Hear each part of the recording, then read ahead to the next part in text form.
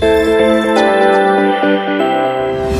उज्जैन के मागडोन शहर में एक गरीब परिवार ने अपनी बेटी और भाई की शादी के लिए अपने रिश्तेदारों से पैसे उधार लिए थे और कुछ अपनी मेहनत मजदूरी से एकत्रित किए हुए थे। ऐसे करके टोटल एक लाख बीस हज़ार रुपए घर में रखे हुए थे और इस गरीब परिवार ने सोचा था कि अपनी बड़ी बेटी की शादी और छोटे भाई का विवाह कर लूँगा। कुछ दिनों बाद पर इस गरीब परिवार के घर में आने वाली खुशियों को किसी की नज़र लग गई और इस परिवार के घर में रखे हुए पैसों की चोरी हो गई। जैसे ही मेहनत मजदूरी कर गरीब परिवार के सदस्य घर पर पहुँचे शाम को तो देखा कि घर में से रखे हुए पैसे गायब हैं तो उनके होश उड़ गए। वह माकड़ोन थाने पर पहुँचे और लिखित में शिकायत की पूरी समस्या बताई और पुलिस से मदद मांगी गई। अब माकड़ोन पुलिस पूरे मामले की जाँच कर रही है। भैया बताइए क्या नाम है आपका? मेरा नाम प्रेम नारायण माली प्रेम नारायण जी कहाँ रहते हैं आप? यहीं रहता हूँ माकड़ो नयापुरा माकड़ो। कौन सा मोहल्ला है ये? नयापुरा। और ये माता जी का मंदिर क्या नाम से जाना जाता है? काली माता के मंदिर। काली माता के मंदिर के नाम से। कितना पुराना मंदिर होगा ये? ये करीबन दस पंद्रह साल हो गए। अच्छा। पंद्रह बीस साल हो गए। क्या हुआ क्या? क्या हुआ?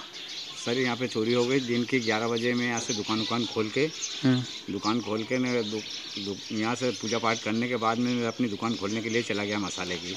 एक छोटी बालिका थी मेरे पास में। हाँ। करीबन दस बारह पंद्रह साल की बालिका है। हाँ। इसे लेके गया था मैं और ये दो छोटी छोटी बच्ची है। हाँ हाँ हाँ। फिर फिर फिर क्या हुआ? और यहाँ से जैसे ही मैं गया वहाँ से दुकान खोलने के बाद में वापस मैंने बड़ी बालिका को यहाँ पहुँचाई। हाँ। तो यहाँ सारा सामान लूटपाट हो चुकी थी। कितना पैसा? मंदिर के अंदर। अच्छा। करीबन एक लाख बीस बीस हज़ार रुपये रखे हुए थे। अच्छा। मंदिर में मेरी मेरी लड़की बालिका की शादी के पैसे थे सर। इधर उधर से उधार लिए थे मैंने।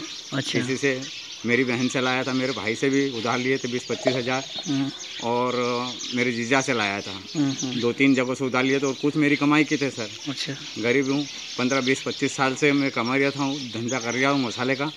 उसमें मैं कमा रहा था। अपने अच्छा। सौ पचास रुपये इकट्ठे करके मैंने इकट्ठे किए थे अपने बच्चियों के शादी के लिए। पाँच बालिका है मेरी छोटी छोटी अच्छा। और लड़का भी नहीं है। गरीब हूँ और न ज़मीन है न जायदाद है कुछ भी नहीं है। परेशान हो गया हूँ और मेरी कोई सुनवाई नहीं हो की जा रही है। मेरा कोई निराकरण ही नहीं हुआ। आज आठ दिन हो गए। वॉइस ऑफ़ राइट्स के लिए उज्जैन से वीरेंद्र शर्मा की रिपोर्ट।